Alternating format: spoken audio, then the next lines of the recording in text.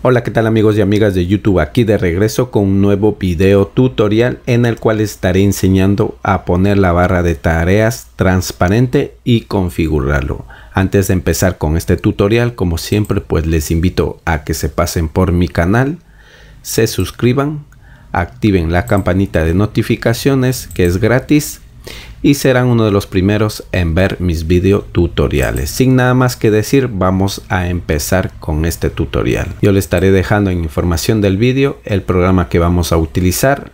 Vamos a seleccionar, clic derecho, ejecutar como administrador, damos en sí, damos en next que es siguiente, aceptamos los términos, next siguiente y esta es la ruta de instalación. Damos en siguiente. Instalar.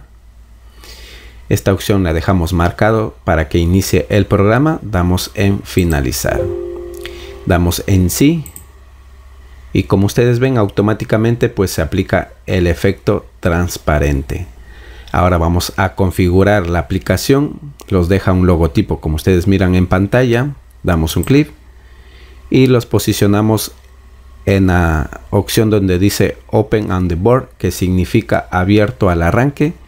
esta opción tienen que dejarlo marcado para cuando ustedes apaguen su PC o su Lacton a la hora de iniciar, pues inicie el programa y aplique el efecto. Entonces seleccionamos y ahora vamos a ir nuevamente a la aplicación.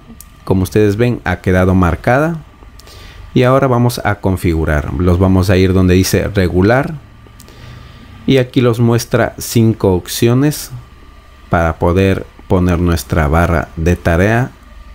Como ustedes ven el modo normal sería este. Damos un clic este sería el modo normal. El siguiente sería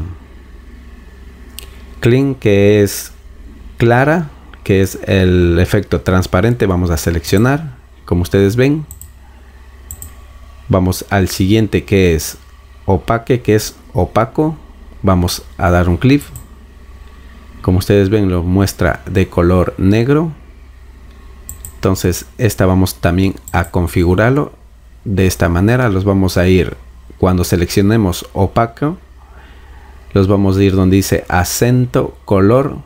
Damos un clic y los abre este recuadro. Ahora mismo está en color negro. Podemos seleccionar color azul, color verde, color amarillo. Yo en mi caso esta opción no la utilizo. Yo la cierro, le doy en OK. Y vamos a ver la siguiente opción. Que es blur, que significa difuminado. Vamos a dar un clic.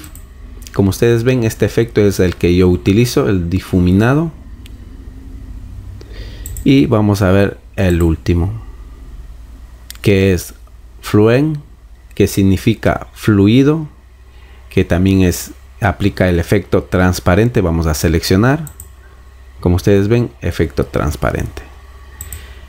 Y las siguientes opciones, pues no movemos absolutamente nada. Esta es la configuración, pues que yo recomiendo y nada más. Entonces espero pues te haya servido este tutorial. Si te sirvió me dejes un like, comparte este vídeo con tus amigos y los estaremos viendo en el próximo tutorial. Sin nada más que decir, yo me despido. Hasta la próxima.